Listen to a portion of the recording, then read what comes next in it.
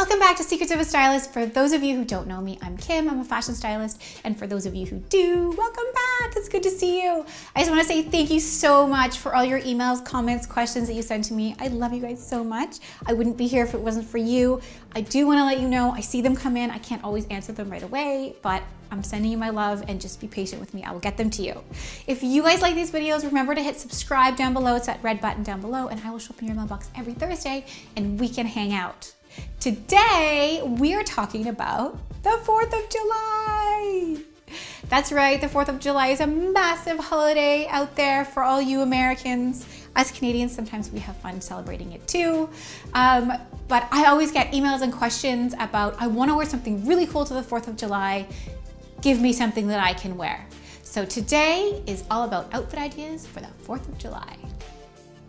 For my first look, I chose to start with something casual. A pair of simple white Levi's jean shorts, a blue and white striped top, and this funky blue sweater. So the sweater really is the piece. That is what makes the outfit. This sweater I got from a brand called Gypsy Soul. I love it. So if you were out on the boat, you could throw this sweater on top of your jean shorts, your bathing suit. If you're at a barbecue, you could wear it. You could really wear it with anything. I actually have one in maroon and I wear it all the time. For look two, I chose a casual look of denim on denim. This off the shoulder top, super trendy right now. I love it, it's easy to wear. If it's hot outside and you're going to a barbecue or something casual, these culottes, short, free, don't have to worry about sucking your stomach in, or if your legs aren't tanned. Throw them on with a pair of Birkenstocks. This is a very casual 4th of July look. If your 4th of July is a little more dressy, I found the most amazing dress at Gypsy Soul. This one is red and white stripes. It's got a little ruffled bottom. I've paired it with a pair of Steve Madden faux leather shoes. I think it's so cute. If you're going to something that's more dressy, a dinner party or something in the evening, I absolutely love this little dress. If it's going to be cold in the evening, you can add a white jacket of some type. I've added this white deconstructed blazer. This one happens to be from Aritzia, but you could use anything. You could also use a white jean jacket if it's a little more casual. What is the 4th of July without a little white dress?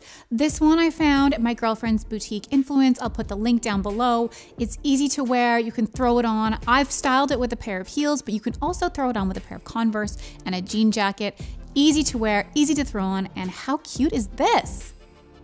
I took a red top that I have from BCBG last year and paired it with this Tyler Madison faux leather skirt and a kimono. I love it. If you're going to something dressy, this is a really cute look.